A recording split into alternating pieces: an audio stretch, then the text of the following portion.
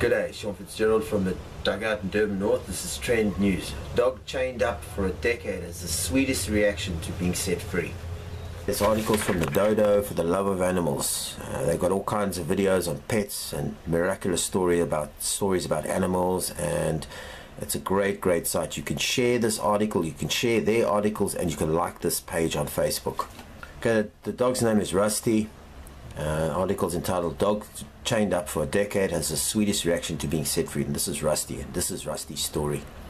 Rusty didn't seem sweet or playful at all when Jared first met him. He was chained up in a yard in Phoenix, Arizona, barking at passers-by all day. How often have we seen dogs barking in yards as we go past? And one day Jared decided to stop and say hello. He there's, there's our Rusty. He's put his hand through there as well.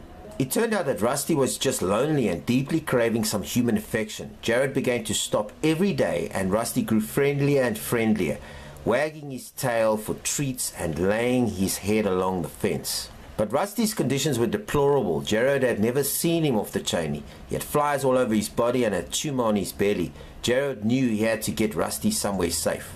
One day, Jared stopped to hang out with Rusty and his owner came out of the house. She casually told him Rusty has been chained up for 10 to 15 years, guys. It was all he knew. Jared told her he wasn't leaving without Rusty. At first she resisted this, you know, she complained about it and she eventually let him go. How's that? Finally, she handed over the chain to Jared and the two left together. Rusty didn't bite, he wasn't even scared, he just walked triumph triumphantly along the along with his rescuer. Is he chained up? He's taking a video of him. Okay, at the vet's office, they had to cut Rusty's collar off his neck since it hadn't been unhooked for so many years. They just left the collar on there.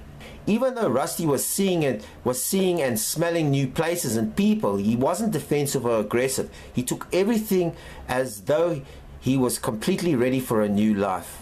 And then Rusty enjoyed the very first bath. It took him a long time to scrub off the dirt and motor oil that was caked in his coat. And there they are looking after him. Wonderful, eh? So I'm just going to summarize the rest of this article. You can come in here, leave this in my post. What happened is Jared couldn't adopt Rusty himself.